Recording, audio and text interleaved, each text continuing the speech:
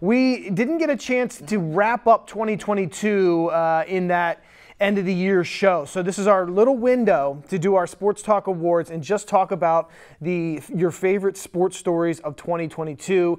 Eric, I'll let you go first. Tim, you can round it out because we only got about four minutes left on the program. Eric, give us your favorite sports story uh, that you uh, saw in 2022.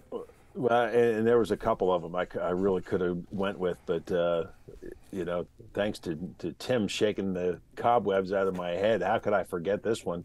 But the Warwick Warriors baseball team laying claim to a state championship and bringing home gold to Lititz.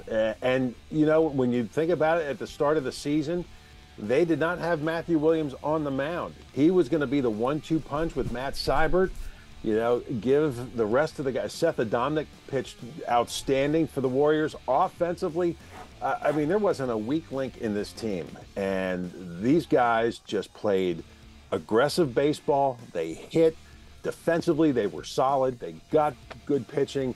But then once you get to the playoffs, then it's the clutch hits. They, you know, another, you know, instant classic against Cumberland Valley that win nine to eight, and then uh, Nick Slogic with a walk-off home run in, in, the playoffs, and it just kept going, and you could just feel that momentum and the confidence, and then they wrap it up with a state title. Uh, awesome awesome story.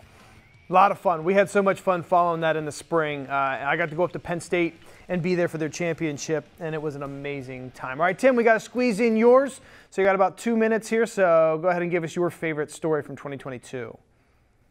I'm sticking with the baseball theme, but I'm going to go to the major leagues and, and looking at everything that happened last year. Uh, I, have got to go with the Philadelphia Phillies and their remarkable run. Uh, they they just slid into home at the last minute to get into the playoffs.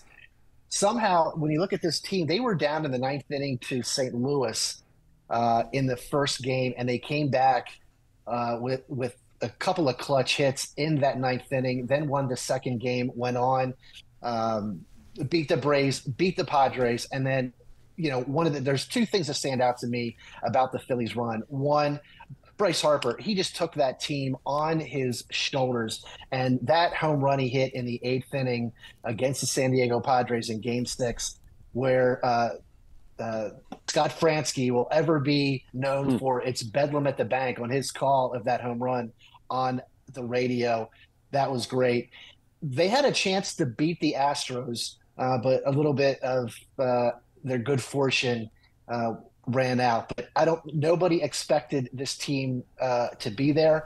Uh, it was a great run. It energized Philadelphia. It energized that fan base. And you know, look at it now. You've got a good Sixers team. Flyers are playing okay. Phillies went to the World Series, and now you've got the Eagles. So Philadelphia sports is back, baby.